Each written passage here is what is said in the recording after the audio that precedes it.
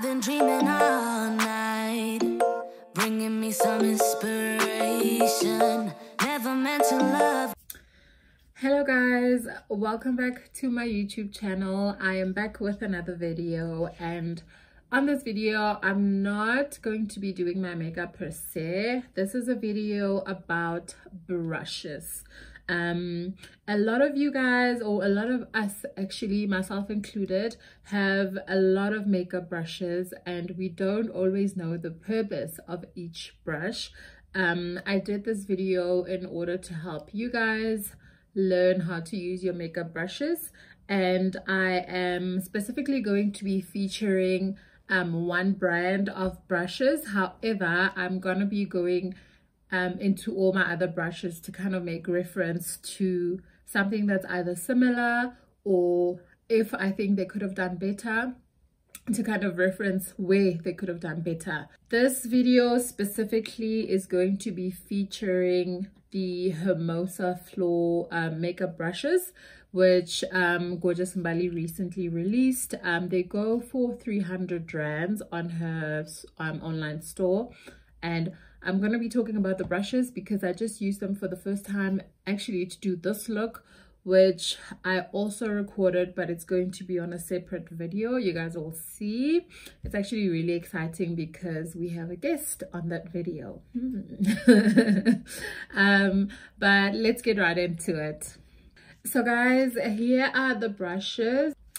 It is a set of 15 brushes in total and it's got four or five face brushes and 10 eye brushes.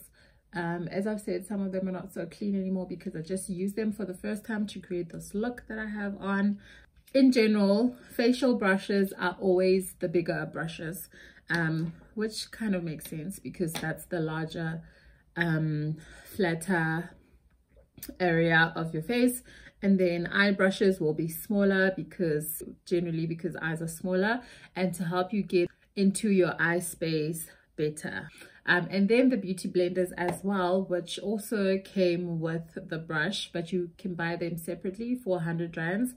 It comes in a set of two and this is the sponge wet and this is the sponge dry one of the things that will show you that a beauty blender is good it has to kind of grow in size when you put it underwater. And that was the case obviously with the sponges. As, it, as I said that this one is wet and this one is dry.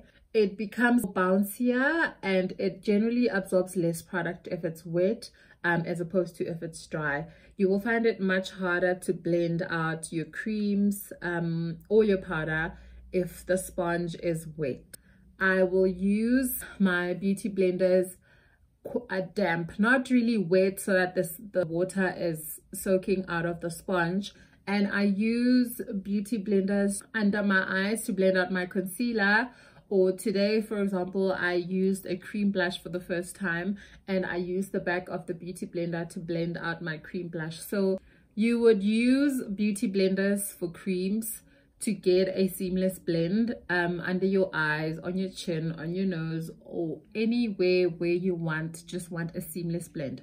Some people prefer using beauty blenders to blend out their foundations. If I use a beauty blender, I find that I take I tend to take longer than I would as opposed to when I use a brush. So that is it for the beauty blender. And um, this one is slightly shaped the flatter part would be used to blend out your foundation if you prefer using beauty blenders to blend out your foundation. The bigger brushes in general are used for powders and the more dense brushes would go would be used for creams and that is the general rule of brushes because the wider the brush is the less um, focused is going to be on a cream, um, but it will be able to blend out a powder better.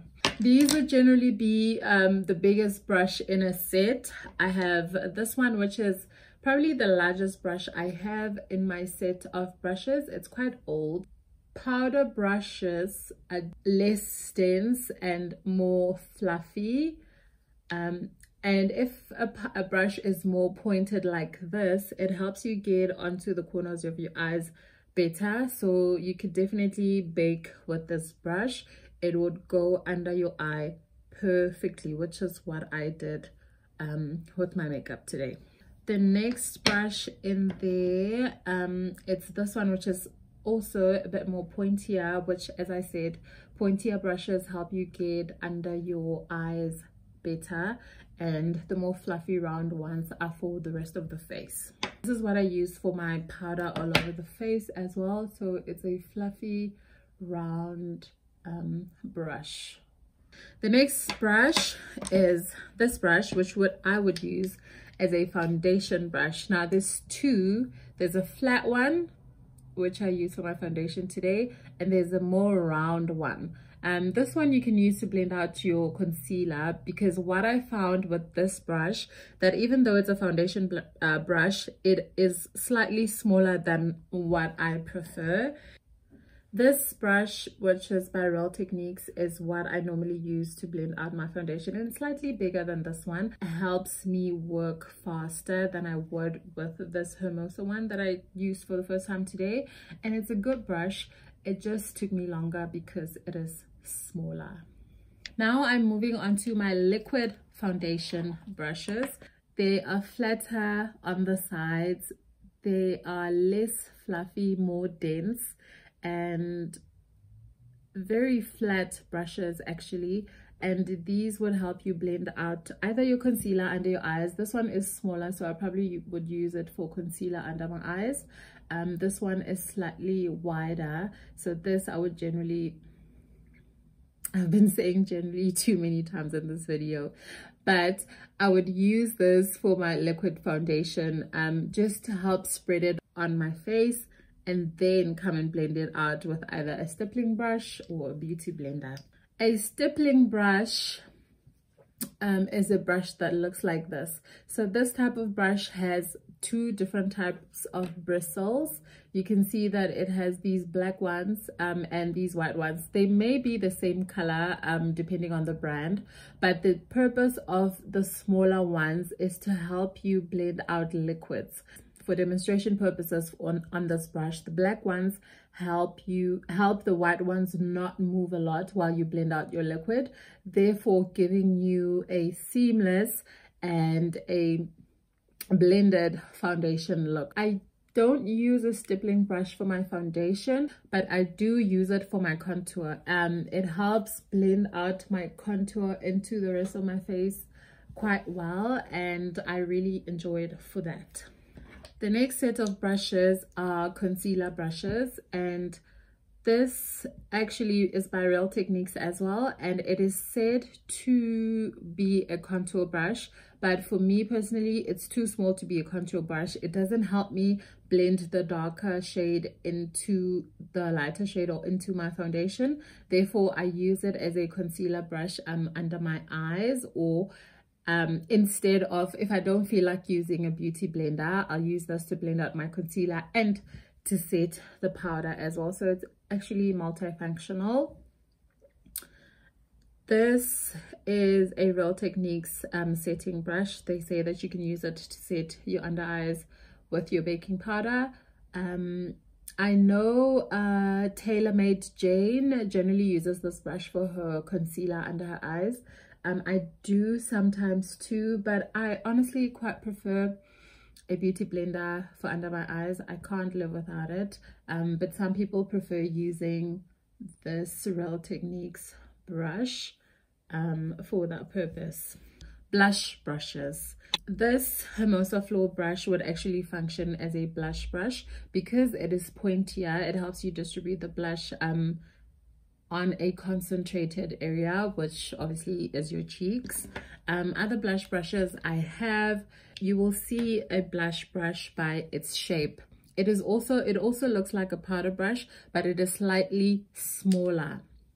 So this would be a powder brush and they are the same shape. This one is bigger, this one is smaller. So the smaller one would generally be for blush. Some of them are slightly slanted and they work the same purpose. This one is by Colors um, from Foschini.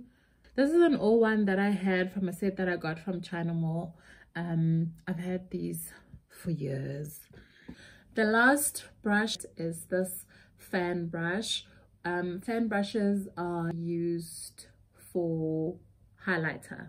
So or to dust off any excess powder under your eyes when you're done with your makeup. So it would help you put highlighter on your face much better on your nose um anyway where you want to put your highlighter on your face. Or if you're somebody that starts with the face first and then the eyes after this would help you dust off any fallout from your shadows. I have another one that i got from china mall. Um slightly similar. I didn't use this brush today so i can't tell you what i think about it. Um but they are very very similar. I think that is it for our face brushes. I'm now going to move on to our eyes brushes the first brush that i have for that is this one by real techniques. It says it is a deluxe concealer brush. I do use it for concealer but only to prime my eyes. So i use it on top of my eyes when i apply my concealer. Wider again wider fluffier brushes would be for blending out your transition colors. So for demonstration that will be the colors that are on the outer parts of the eye. The color that would be closest to your shade. And these would look like this. So they are fluffy um, either flat or round. Uh, all these three are from Hermosa Flor. This is the disadvantage that I found with the Hermosa Flor brushes is that they're blending brushes, all of them are quite big. Um, there's not a brush small enough to get into like concentrated areas. If you wanted to have a look on your eyes that included a lot of colors, um, is, there is not enough smaller blending brushes for that purpose so what i meant when i was talking about smaller blending brushes um, was these brushes. So let me take so this is a hermosa Flor brush and this is from another set that i have. There's not a brush that is small enough for you to blend out um colors that you want to be concentrated and dark enough. You can't have 10 brushes in a set and not have one brush that is small enough to get into the smaller areas of the eyes. Um, so the purpose of smaller blending brushes as i said are to get onto the smaller concentrated areas of the eyes and to really help you be precise as you blend out um, whatever colors you're working with Another type of blending brush is this one that is slightly slanted. So this is a really good brush. Um, I enjoy using a brush like this. It's very useful for also if you make mistakes. It helps you kind of correct it without messing up the rest of the eye. Um, the set also came with two um, packing brushes. So a packing brush would be a brush that is flat and very thin on the side like that.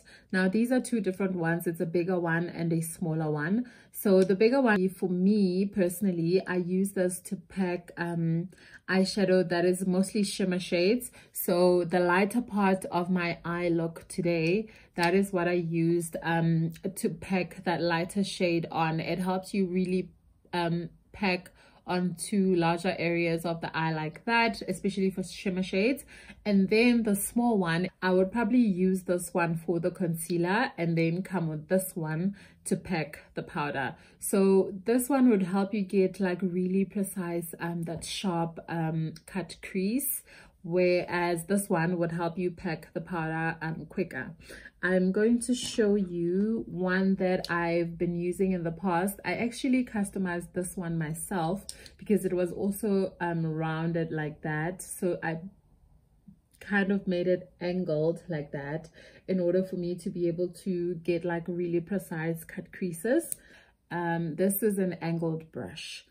The angle brush's purpose is to help you shape your brows, but honestly i think this one is too thick on the side it is not thin enough for me to pack really pack concealer on it and get that sharp line that I like on my brows. I probably would use an use it on the top of my brows because I don't mind if the top of my brows are not sharp enough, but the bottom has, I mean, it has to be sharp.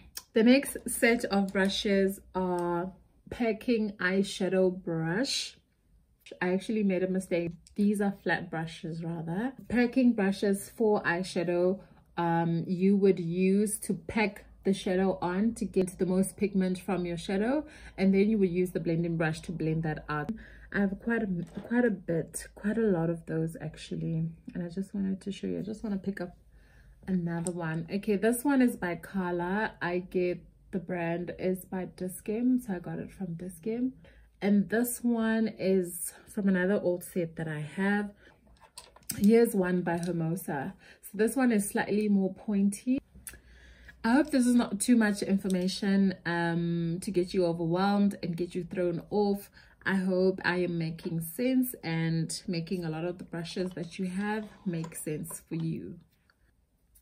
Um, the last two brushes I have can you believe it? We're done. The last two brushes i have are um this is an eyebrow brush. So this an eyelash actually. So if you have false lashes you would you could use the side to brush them out and make sure that um they are straight. You can also use this for your brows so this is a brush for hairs basically. Um same purpose as this one. This is a spoolie and I use my spoolie to pick up soap for my soap brows and I also use it to just brush out um, my brows when I'm done if I feel like they're not in a straight line or if I feel like I just want to get them to a different direction um if i made a mess or if i put too much mascara on my bottom lash sometimes i will use it to blend um to just separate the hairs if I feel like the mascara is clumpy. Okay, so I lied. We're not done yet. Um, I forgot about the lip brush and the eyeliner brush. So lip brushes would be the second to tiniest brushes in your set. Um, I don't think these are in general for professionals. I don't think that we need to use lip brushes unless you really want to get, you know, that sharp cupid's bow or it's like a really bold color and you don't want it to be all over because it is going to be obvious for more bold colors if they're not straight and they're able to get you to draw really sharp lines on your lips I sometimes use my lip brushes to cut my creases as well if I feel like I really want uh if I feel like the brush the other brush that I use is not small enough for that I will use a lip brush um, so it multi-functions as that. Now the last brush in your set of brushes or my set of brushes um, is a gel liner brush. So you, you would use this to pick up um, gel liner. So this brush would be able is able to help you get like sharp lines like that for your wing liner or any liner in general. This brush you don't really need to buy because most liners will come with a brush or yeah, if it's a liquid liner, it definitely will come with its own brush. But also if it's a gel liner, if you happen to lose your brush, I guess that's the only time where you will actually need to buy um, a gel liner brush.